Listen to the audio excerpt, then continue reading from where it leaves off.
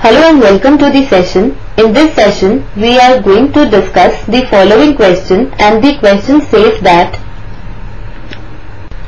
Shane and Bruce travel in their cars to reach their respective destinations. The relationship between time h in hours and distance d in miles traveled for Shane is given by d is equal to 60 into h also, the following graph shows the average speed of Bruce's car whose car is travelling faster. We know that equation of proportional relationship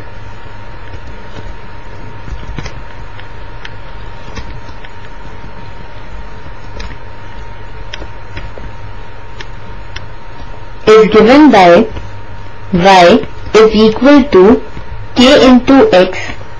Also we know that whenever a line passes through origin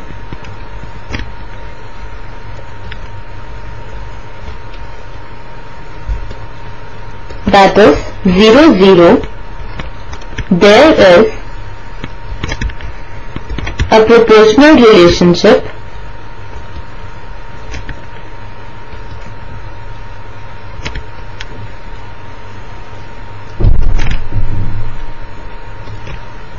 and unit rate or slope is given by change in y that is y minus 0 by change in x that is x minus 0 and is equal to y upon x. With this key idea, let us proceed to the solution. In this question, we are given the relationship between time and distance for Shane's car which is d is equal to 60 into h where h is time in hours and d is the distance travelled in miles here we are given the relationship between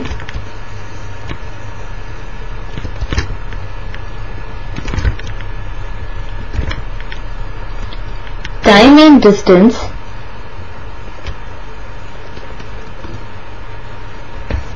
for Shane's car. And this is given by d is equal to 60 into h where h is the time in hours and d is the distance travelled in miles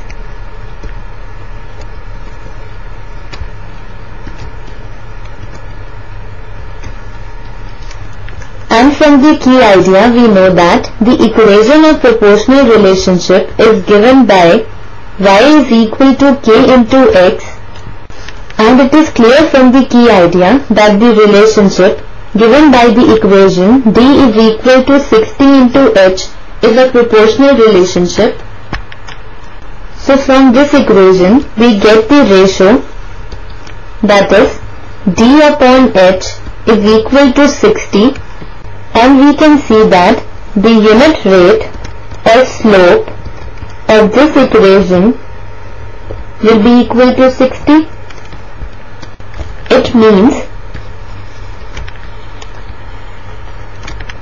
in 1 hour the distance travelled is 60 miles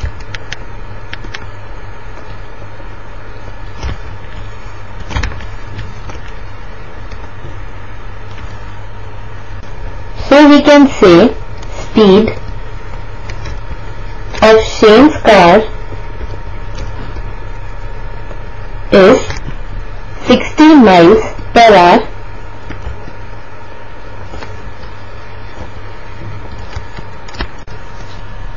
Now we shall find the same for Bruce's car. And again from the key idea we know that whenever a line passes through origin that is 0 0 there is a proportional relationship and the unit rate or slope is given by y upon x. And we are given a graph which shows the average speed of Bruce's car. And we see that there is a proportional relationship between time and the distance travelled because graph is a straight line passing through origin that is 0 0 for slope we find the ratio that is d upon h where d is the distance travelled in miles and h is the time taken in hours.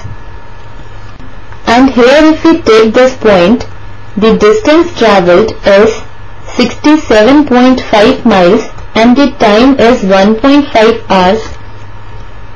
So here we have the ratio d by h that is 67.5 miles upon 1.5 hours. And this is equal to 45 miles per hour. So its slope or unit rate is equal to 45 means in 1 hour Bruce travels 45 miles. So its speed is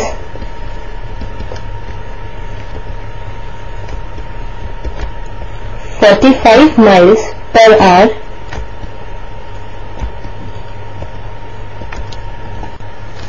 So from the slope we came to know about distance travelled per mile that is speed and we have seen that speed of Shane's car is 60 miles per hour and the speed of Bruce's car is 45 miles per hour. Clearly, speed of Shane's car is greater than speed of Bruce's car. So, we can say that Shane is traveling faster.